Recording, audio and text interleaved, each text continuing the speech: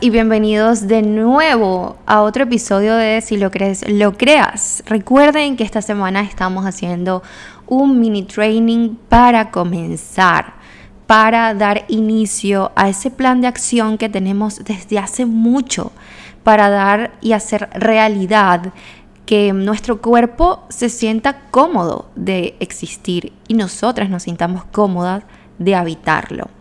Ya hoy estamos en nuestro día número 4 y si no han escuchado los tres episodios anteriores, vayan a darse una vueltita antes de continuar escuchando este para que vayan teniendo como que una idea de cómo va.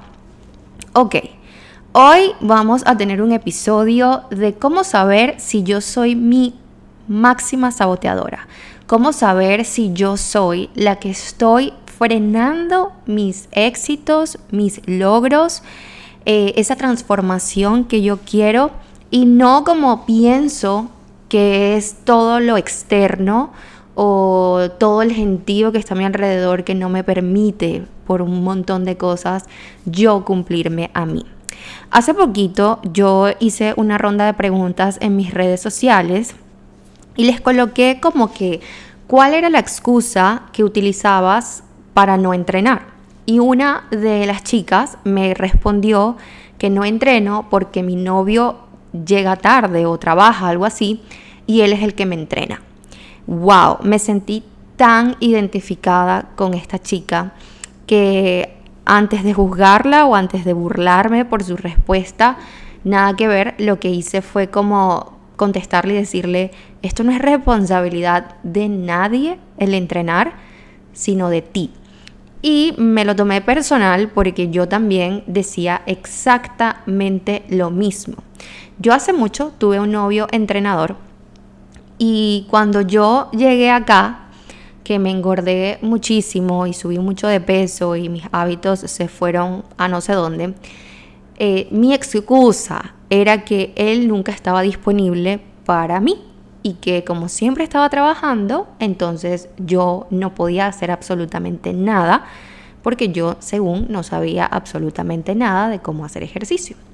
Entonces me agarré y me aferré ahí a esa teoría mía por demasiado tiempo, o sea, me aferré ahí como un año entero y siempre era la excusa, de hecho, cuando yo inicio todo esto, al inicio, este, como que los primeros tres meses, yo no entrenaba sin él. Me daba pena, me daba vergüenza, me daba miedo que la gente me viera haciendo un ejercicio mal y que pues, bueno, no supiera cómo hacerlo. Y me aferré a ese tema, a esa teoría de que sin él yo no podía hacer absolutamente nada, hasta que un día me recuerdo clarito que lo coloqué en mis historias y dije, esto se acabó, no importa que X persona no esté, yo voy a hacerlo. Y entrené en mi casa con mis ligas y me fui a caminar por la residencia como parte de mi cardio. Y ahí fue que me di cuenta que nunca fue ese el problema, sino que yo misma estaba causando problemas en mi mente para sabotear mi meta o sabotear mi resultado. Eso es lo que vengo a platicarles el día de hoy, porque una de las partes donde tenemos que dejar de, mm, ¿cómo explicar? Una de las cosas que tenemos que dejar de hacer es apuntar hacia afuera y comenzar a responder honestamente si yo soy la que es la piedrita en el zapato para mi propio éxito que es lo más común y casi siempre estamos echándole la culpa al país, a los hijos, a los esposos, a la escuela y a todo. Entonces, lo primero que tienes que hacer es pensar si tú tienes mucho tiempo queriendo hacer un cambio de hábitos y sabes que ese cambio de hábitos conlleva a un intenso trabajo interior. Esto es cansón, esto es algo que te, te involucra muchísima energía, enfoque, determinación, algo que pide de ti atención, te pide que estés presente y consciente de, de, todo el trabajo que tienes que comenzar a hacer a partir del momento en que decidas iniciar. El trabajo de transformación física no es algo que ocurre de la noche a la mañana, no es algo que pasa pues mágicamente, no existe la pastilla, no existe la inyección, es un trabajo interno intenso, es un trabajo que conlleva 30 eh, minutos de ejercicio, eh, dos horas en la cocina por lo menos dos veces a la semana para que prepares tu meal prep, eh, decir que no a muchas invitaciones, porque también todo esto hace que haya una transformación mental y ya no estás como tan disponible para todos. Ahora te, te preguntarás y te cuestionarás si de verdad tu energía vale estar en lugares, personas, situaciones, problemas. Y ya vas a ver que, que, que realmente te pide que estés presente aquí y ahora. Esto es algo que me ha pasado muchísimo en los últimos tres meses. Y es que bueno, no en los últimos tres meses, desde que inicié, pero esta vez, este año, hablo este año que es lo más cercano, es como que no, no elijo estar en otro lugar que no sea un lugar que me traiga comodidad y que me beneficie a mi proceso, porque este trabajo intenso, interno, tiene que tú, tú tienes que hacerlo lo más llevadero posible, no lanzarte a los tiburones a las distracciones, a gente que no va a aportar ni una palabra de positivismo a tu proceso y por eso tienes que estar muy consciente de a dónde y con quién vas a estar. Entonces, volviendo al tema del autosaboteo, yo siento que nosotras muy hacia afuera queremos siempre lo mejor para nosotras, obviamente, eh, uno siempre quiere conseguir una meta, como lo dije al inicio de estos episodios, uno siempre está buscando esa mejor versión de uno. Ya hoy somos una mejor versión, pero siempre estamos buscando como expandir esa versión que existe hoy. Y pasa muy seguido que nuestros pensamientos nos frenan muchísimo. Nuestros pensamientos hacen que te que te cuestiones si de verdad es necesario hacer esto, si es el mejor momento ahorita, o será que te dices, ay, no, mejor empiezo otro día, o ay, es que mira, no tengo tiempo, o sabes que estoy muy cansada. Si tú te la pasas diciendo este tipo de frases que te acabo de decir, cada vez que necesitas o cada vez que vas a iniciar algo, o cada vez que estás a punto de ir al gimnasio o de escuchar un podcast o hacer algo que sea para tu beneficio interno y externo, entonces definitivamente eres tu primera saboteadora. Esto creo que es lo más esencial, reconocerlo. Eh, estos, estos pretextos que te deja acá, que son las excusas parecidas a las que te dejé en el primer episodio, tú los puedes escuchar como que, ah, son cosas simples, pero realmente son piedritas que vamos tirando sobre el camino hacia ese objetivo. Es tu cerebro que está manipulando tu voluntad, tu forma de decir que sí quiero hacerlo. Tu cerebro tiene como, bueno, nosotros, los humanos, somos una, una gente de costumbres, somos unas personas que nos gusta la comodidad, que nos gusta sentirnos enraizados de algo. Si ya yo me siento cómoda con eh, el lugar donde estoy hoy, a pesar de que no me encante, pero es mi comodidad, eh, esa, esa zona no me está haciendo retarme, esa zona no está haciendo que yo dé la milla extra, esa zona no me está haciendo como cuestionarme, entonces yo me, yo me quiero quedar ahí, mi cuerpo se quiere quedar ahí, porque los seres humanos somos seres de costumbre, nos acostumbramos muy rápido a la comodidad. Y como es una zona que ya yo me la sé de arriba abajo y de abajo hacia arriba, entonces en el momento que a ti se te activa esas ganas de cambiar y modificar la rutina, tu cerebro activa tu mecanismo de defensa. ¿Para qué? Para protegerte, para evitarte eh, posibles sufrimientos, posibles situaciones desconocidas y por supuesto el tema de fallar o entrar a áreas donde tú no tengas el control. Esto se llama resistencia al cambio. Esto se llama que tu cerebro está literal controlando tu vida. Entonces, la idea de todo esto es que lo primero que hagas al escuchar este episodio es que si te sientes identificada con algo de lo que estoy diciendo, es que tú digas, es verdad, esa soy yo, es cierto, esta es mi vida desde hace un tiempo. Yo no quiero que yo no, yo no elijo situaciones incómodas porque mi cuerpo está chilling en, esta, en este sofá. ¿Para qué cambiar el sofá por uno nuevo si ya yo estoy en este sofá viejo, incómodo, pero me gusta porque es lo que conozco, porque ya sé cómo, cómo dónde sentarme, ya sé que si lanzo un vaso de agua no se va a dañar. ¿Por qué yo quiero salir? Porque yo quiero exponer a mi vida qué necesidad tengo yo de exponer mi vida a algo nuevo, qué fastidio. Ustedes no, saben el dicho este que dice eh, mejor malo conocido que bueno por conocer. Bueno, yo creo que ese es el dicho más horrible que han inventado en toda nuestra faz de la Tierra, porque aparte que nos los repetimos a cada segundo, es una forma de decirle a nuestros cerebros, sí, tienes razón, quédate donde siempre, quédate donde te maltratan, quédate donde eh, te tratan mal, quédate donde no eres feliz. Y justamente es lo que estoy tratando en este episodio de que entiendas que no siempre esa zona que conoces es la zona que te va a hacer expandirte.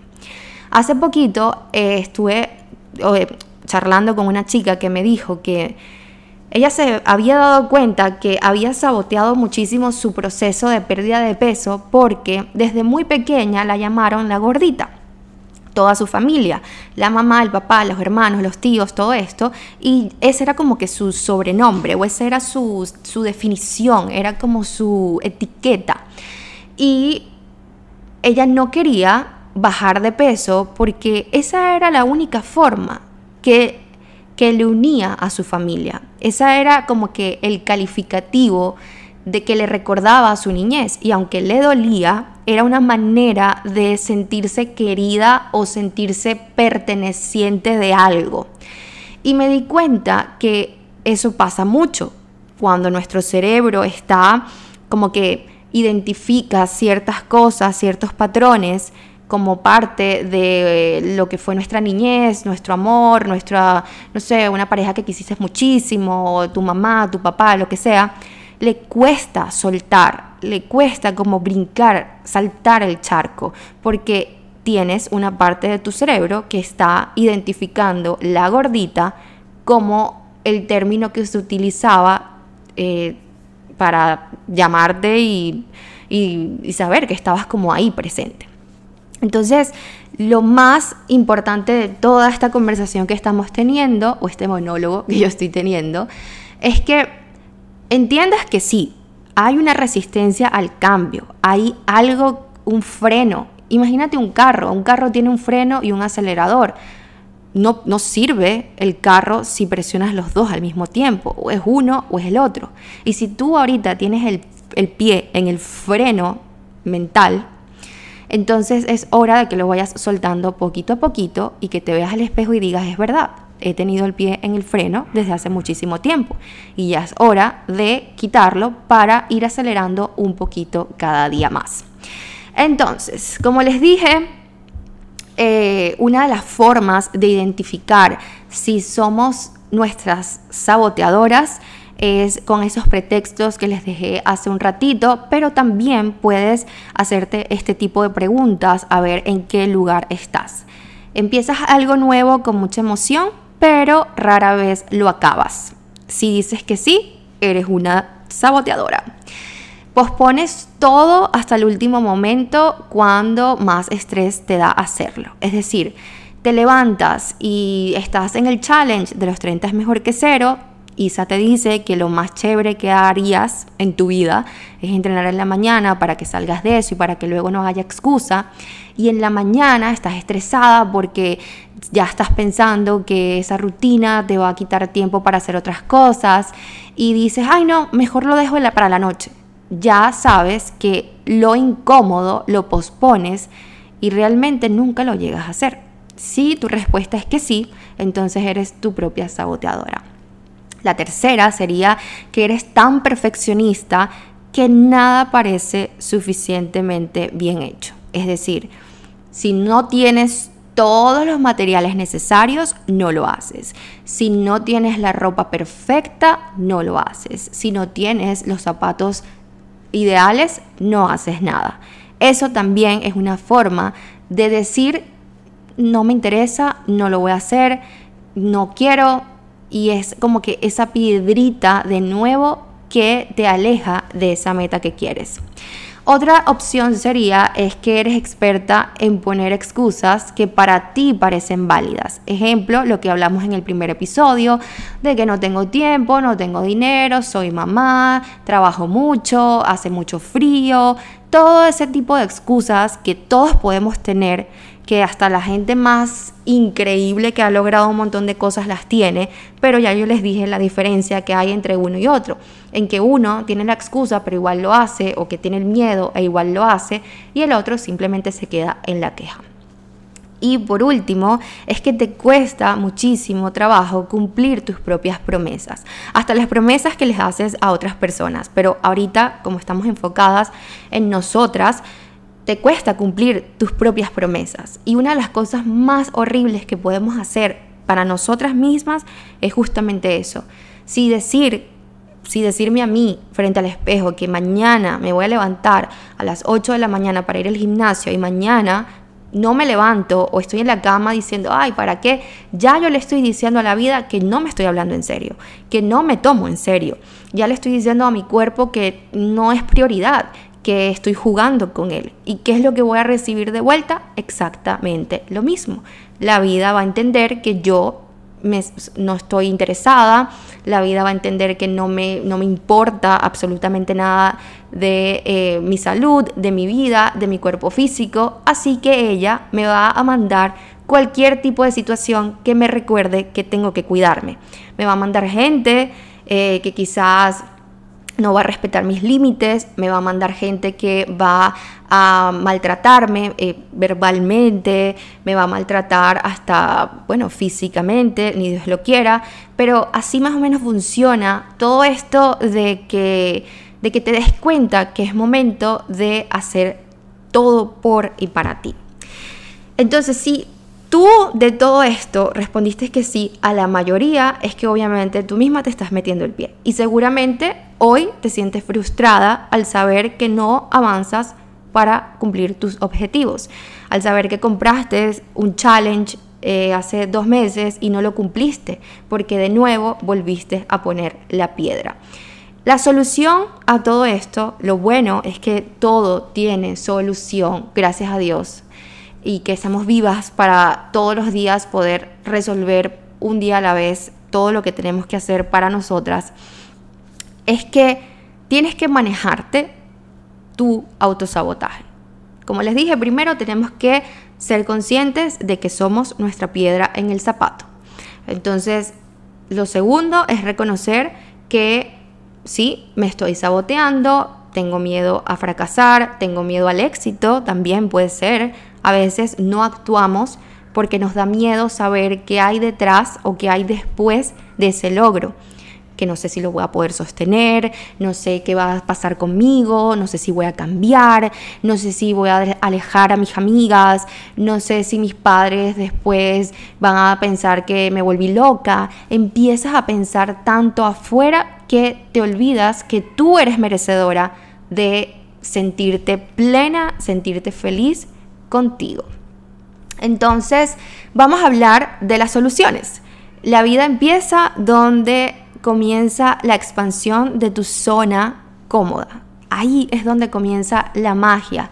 Ahí es donde comienza a uno apretar el acelerador porque no importa que no sepas cómo manejarlo, no importa que no sepas a dónde te va a llevar eso, pero lo ideal es que nunca dejes de apretar el acelerador. ¿Que podemos descansar? Claro que sí, pero que nunca por miedo dejes de apretar el acelerador. Entonces, lo primero es trabajar con tus creencias limitantes. Por eso el ejercicio y por eso todo esto de la vida saludable. Ustedes no sé si han visto en redes sociales que la gente que, que hace ejercicio y come bien y todo esto es feliz. Yo siempre doy este ejemplo de mi papá. Yo nunca he visto a mi papá de mal humor, nunca he visto a mi papá preocuparse por nada.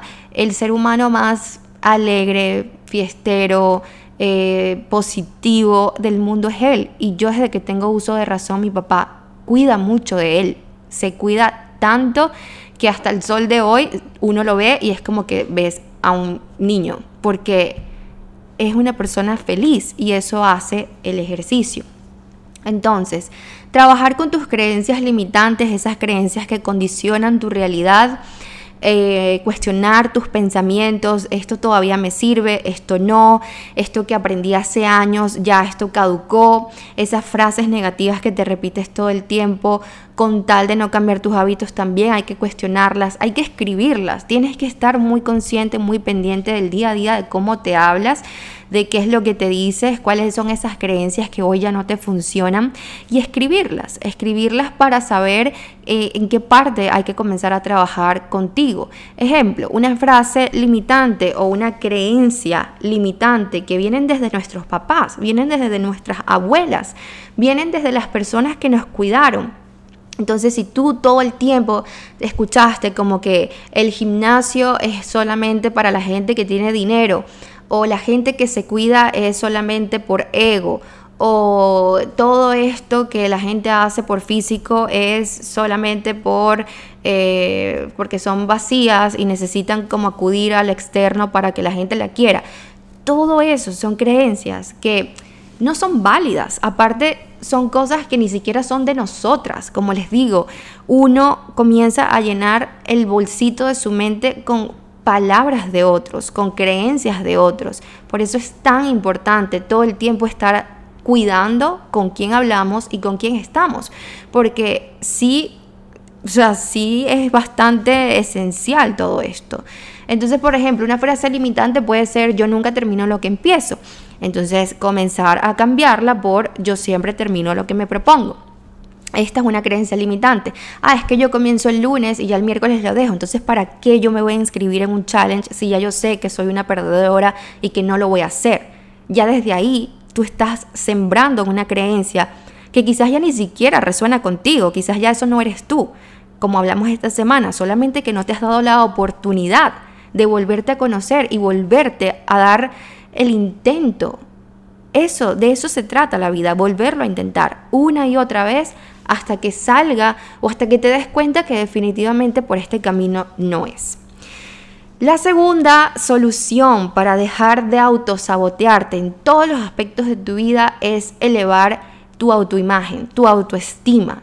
Este paso eh, es como centrarte solamente en tus fortalezas o en tus características positivas. Es pensar en solamente aquello que te hace única, en que eh, pues nadie más tiene. Y aunque estemos viviendo todos en un mismo lugar, nadie es igual al otro. Entonces centrarme en las cosas que yo tengo que, que me hacen bien.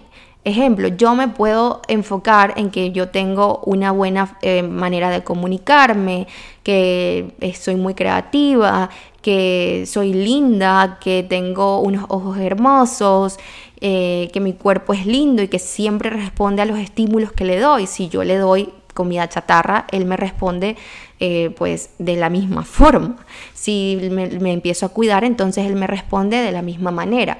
Entonces centrarme solamente en esos aspectos de mi vida que van a hacer que yo me eleve. ¿Para qué yo quiero seguir recordando lo que no puedo lo que no tengo por ahora? ¿Para qué? Ya yo lo sé. Entonces, ¿por qué todos los días dar con el mismo martillo en el clavo? Ya es hora de seguir adelante y enfocarme en lo que tengo, en mis fortalezas, en mis habilidades y en mis capacidades para que mi autoestima o mi autoimagen o mi autocuidado se pueda elevar. Por otro lado, otra forma de dejar de autosabotearte es empezar con pequeños cambios. Todo esto de 30 es mejor que cero es justamente eh, una forma de yo integrar en ustedes una como que algo fácil de comenzar y de empezar. No es del paso 1 al paso 1000, es del paso 1 al paso 2, porque si comienzas con pasos muy grandes, con cosas demasiado extraordinarias, no lo vas a poder sostener. Va a ser imposible y ahí es cuando comenzamos a sabotearnos. Es imposible que una persona que haya, no haya hecho ejercicio por cinco meses comience a correr 5K en el primer día. Ahí es cuando comienza el saboteo. Es como, esto no es posible para mí, ¿cómo yo voy a hacer esto si yo tengo años sin hacer ejercicio? Me voy a morir, me voy a desmayar, yo no tengo condición, bla, bla, bla, bla. Y comienza todo otra vez el círculo vicioso de el hablarnos mal o el de las creencias limitantes. Entonces, ¿qué hago yo para construir y fortalecer la confianza en mí misma, para ir tachando por lo menos un día a la vez? Es, si yo quiero escribir un libro, pues entonces me voy a sentar enfrente de la computadora un día, media hora, y voy a escribir media hora. Si yo quiero em, comenzar a hacer, no sé, charlas en vivo, una conferencia, entonces yo todos los días voy a practicar media hora frente al espejo hablando de un tema que yo domine. Si yo quiero tener un mejor cuerpo, entonces, ¿qué voy a hacer? Todos los días o cinco veces a la semana voy a hacer media hora de ejercicio y por lo menos una vez al día voy a cocinar en la casa. Pasos pequeños, pasos pequeños. Por otro lado, también está en generar rutinas ganadoras. Ejemplo, esto va muy eh, de la mano con los pasos pequeños, conscientes, y es como una lista de cosas diarias que te van a motivar. Entonces, en las mañanas puedes hacer una lista de tres cosas que son no negociables para ti y que de paso van a elevar eh, todo este tema que estamos hablando, que te van a ayudar a llegar a esa versión o a ese objetivo que tanto quieres. Lo ideal de todo esto es que no tengas como, no, no, no manejes tanto el obstáculo. Es como que sí, ya yo sé que me falta un montón de cosas. Ya yo sé todo esto, ya yo sé que no soy la más pro en, no sé, en corriendo pero poner por lo menos todos los días en mi libreta una pequeña cosita que me va a ayudar a llegar a ser esa corredora profesional que yo quiero es, es generar una rutina ganadora. Que todos los días tú puedas hacer check, que todos los días tú puedas quitar tu papelito. En el challenge 30 es mejor que cero, yo les mando a colocar 30 eh, papelitos en la pared como que de conteo y cada día que tú te cumplas, tanto en el ejercicio como en tu comida, lo quitas. Eso es para uno como que te eleva, te empodera y te sientes como que, wow, lo cumplí, lo hice. Y el sentimiento cuando te acuestas a dormir no tiene precio. Eso son crear rutinas ganadoras. Rutina ganadora es la que está en el challenge de 30 mejor que cero, donde yo te creo a ti una rutina que sé que es adaptada a tu estilo de vida, que nunca me vas a decir un no, nunca jamás de tu boca en 30 días va a salir no tengo tiempo, porque ¿qué son 30 minutos? Otra opción para dejar de autosabotearte es afrontar los miedos, o más bien asumir que siempre vas a tener miedo. Es decir, Vamos a poner este ejemplo del challenge ya que estamos preparándonos para eso. Yo lanzo las inscripciones este domingo y a ti te comienza a generar una ansiedad y un miedo de tus creencias limitantes y comienza el tema del autosaboteo y comienzas a decirte no lo voy a lograr y si entonces y si me voy de viaje y entonces ahorita es verano y cómo voy a hacer con todo, ya comienza tu miedo a aflorar, ya comienza tu mente a lanzar tu mecanismo de defensa para decirte, no, aquí en esto que estamos está bien. ¿Qué es lo que hay que hacer? Habla con tu miedo. Explícale que a partir de hoy puede ser tu copiloto, pero que ya no le toca manejar. Explícale que ya llegó tu momento, y que tú puedes hacerte cargo. Yo sé que quizás esto puede sonar un poco loco, pero eh, hablar con él como que si fuera un tercero te ayuda a ti a bajarle el volumen cuando él te hable. Lo mismo pasa con la energía del dinero. Hay que hablarle con él, hay que decirle que lo queremos en nuestra vida, que lo queremos, que lo elegimos. Esa es una forma también de ir manejando relaciones internas con nosotros, con esos demonios que quizás, yo le digo demonios, pero vamos a decirle, ah, sí, esas vocecitas que casi siempre salen en momentos donde sabemos que vamos a tomar una decisión que va a cambiar nuestra vida. Entonces, habla con tu miedo y dile que llegó el momento de que se pase al copiloto porque llegó el momento de que tú vas a manejar el carro. Por último, vamos a crear un plan de acción. Ya tú sabes lo que quieres, ya tú sabes que esos cambios van a pasar, ya tú sabes que lo, eliges y ya estás calentando motores para decir que sí, para decirte que sí, para dejar el autosaboteo. Ahora debes ejecutar. Que todo esto que estamos hablando toda esta semana no se quede nada más en un sueño. Ustedes no saben cuánta gente en el mundo tiene sueños. Y si tú les preguntas cuáles son sus sueños, uno de ellos es sentirse feliz con su cuerpo. Sobre todo de nosotras las mujeres. Entonces, todo sueño se queda en sueño si no lo escribes, si no lo accionas, si no lo ejecutas. Entonces pregúntate, ¿qué voy a hacer yo cada día para llegar a ese sueño que tengo? ¿Qué voy a hacer yo cada día para esforzarme por él? ¿Qué herramientas necesito y en quién me voy a apoyar? Cuéntale a la gente el tu plan, a la gente que tú sientas que te va a apoyar contarle a las otras personas es una gran manera de comprometerte contigo misma. Y además tener porristas ahí al ladito porque es muy sabroso cuando la gente anima a uno a hacer algo que a uno le da miedo. Entonces, ¿qué plan tienes para este mes o para el mes que viene diferente para poner en práctica todo esto que estamos hablando el día de hoy? Así que bueno, esto ha sido todo por el día de hoy. Espero que algo que hayas escuchado aquí haya resonado contigo y que si pues estás lista para vencerte a ti misma, eh, pues yo voy a estar aquí apoyándote y además acompañándote en el mes de agosto para comenzar. Las quiero muchísimo y gracias de nuevo por escuchar. Si lo crees, lo creas. Nos escuchamos mañana para el último episodio de este mini training. Bye bye.